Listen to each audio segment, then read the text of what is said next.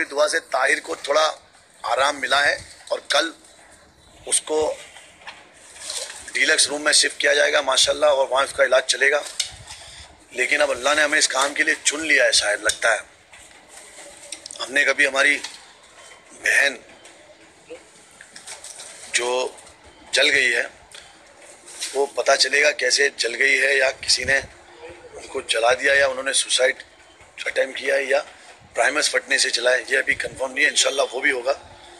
अभी हम मीरा रोड आए वहाँ से ताहिर को छोड़ के इनको लेने के लिए क्योंकि हॉस्पिटल जो है वो मतलब एक रूम का हॉस्पिटल है और उनको पूरा पेन हो रहा है। तो we are shifting her also in Kokila Ben Dhirubhai Ambani नेकियों में हम अकेले नहीं आप लोग भी हमारे साथ हो जुड़े हुए हो। तो हमारी पूरी टीम यहाँ पे आई हुई है। अस्सलाम वालेकुम अस्सलाम वालेकुम अस्सलाम वालेकुम अस्सलाम वालेकुम और अब हम इनको यहाँ से लेके शिफ्ट कर रहे हैं। आगे की चीज़ आपको यहाँ के लोगों से भी दानिश मिलवाएँगे और जिन्होंने ये केस हमें दिया है फ़ोन करके उससे सबसे ज़्यादा दुआएँ मिलेंगी और अभी आपको आपको उनको देखना पड़ेगा उनके लिए दुआएँ करनी पड़ेगी। अस्सलाम वालेकुम चलिए मैं आपको दिखाता हूँ। सबसे पहले जो हॉस्पिटल का जो नज़ारा है सबसे पहले वो लाइव दिखाता हूँ। यहाँ पर इतने लोग मौजूद हैं। और आप हॉस्पिटल देख सकते हैं। बहुत ही छोटा सा हॉस्पिटल है।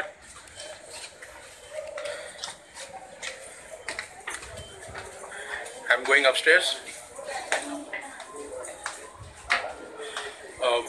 मैं चाहूँगा तो नहीं कि आपको दिखाऊँ पेशेंट की हालत बट क्या करें, आप लोग को समझ में तो आए कि कैसी कैसी चीज़ें होती है। पहले आप देख लीजिए, फिर मैं आगे बात करता हूँ।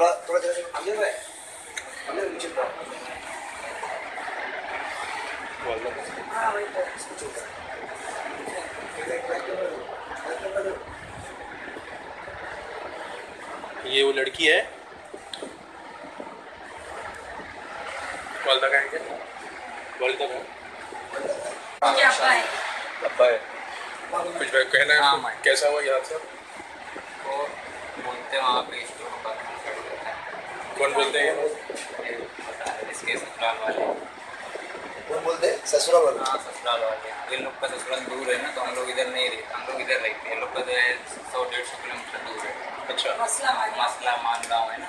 जी। तो वही बोले ऐसा हुआ मसला तो मानगांव में मान सकते हैं। यहाँ पे आपका इलाज सही हो रहा है ट्रीटमेंट अल्लाह के शुक्र रही इंशाल्लाह। ये हमारे भाई आए थे अमजद भाई ये लोग बेचारे पूरी हेल्प करके ही वहाँ से यहाँ पे कर जगह लेके जाएँगे इंशाल्लाह। इंशाल्लाह अल्लाह के बंदे इस चीज़ का ख्याल रखेंगे। है। दुआ मेरा मैं वापस निकल रहा हूँ। मैं एक बात बताना चाहूँगा आपको। ये वाक़ मीरा रोड का है। मीरा रोड में बड़े बड़े लोग इसमें हैं। सामान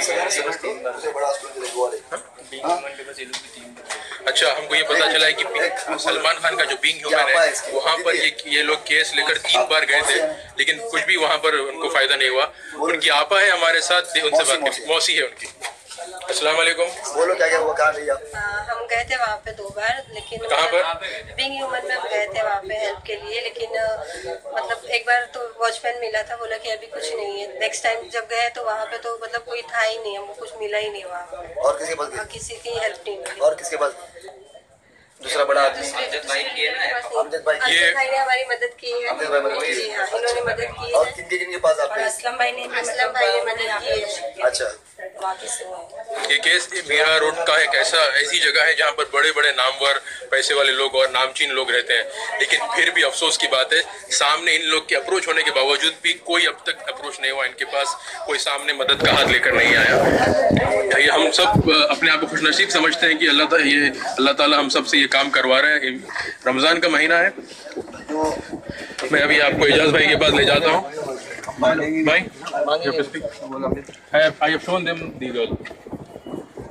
जन्नत में जाना चाहते हो तो बस हमने तो ये काम शुरू कर दिया है अब। अब हम नहीं रुकेंगे। और एक और बीइंग ह्यूमन के लिए मैसेज है। ट्यूबलाइट ज़रूर देखना लेकिन आप लोग आप बीइंग ह्यूमन के लिए सर बताइए। ये लड़की भी तीन बार बींग ह्यूमन के पास इसके लोग भी गए। लेकिन अब इसमें सलमान खान की कोई गलती नहीं है। भाई अगर हमारे हमारे माँ बाप हमको पैदा करते हो और हम मोहल्ले में कोई गलती करते हो तो हमारे माँ बाप को दोष दिया जाता है। तो सलमान भाई, फिर से हमारी आपकी रिक्वेस्ट है कि आपका पाँच छह केस हमारे पास आ रहे हैं। लगता है अल्लाह हमें चुनने वाला है। हम करेंगे, लेकिन आपको पता भी नहीं चल रहा है तो सोचो टीम कैसी है आपकी, एनजीओ की। ये उत्तन के हमारे भाई हैं, ये भी समाज सेवा कर रहे हैं सोशल वर्क कर रहे हैं, बहुत सारे काम किए उन्होंने। ये भी यहाँ पे आए हुए, और यही लेके बींग ह्यूमन में गए थे। और एक बार और भी उनके कोई आदमी भी गया, वो बहन गई थी, उसने बोला, लेकिन कोई मिला नहीं।